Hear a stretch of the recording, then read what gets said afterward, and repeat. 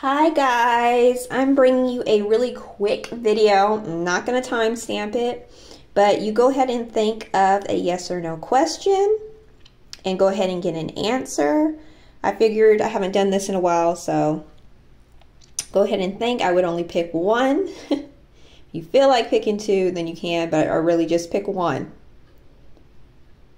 All right, think, use your intuition and we're going to start. So those who chose one, your answer is within the next few weeks. Within the next few weeks. If you chose two,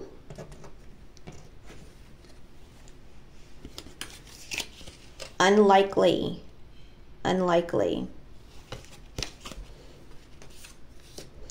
If you chose three, not the right time. Not the right time. If you chose four, wait, wait.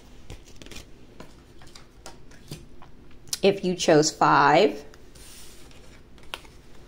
Yes, a big yes. If you chose six, let go, let go.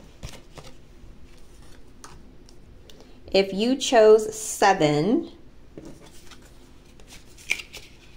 in the near future. And if you chose eight, no, big no. All right, I hope you guys enjoyed this little quick video. Bye.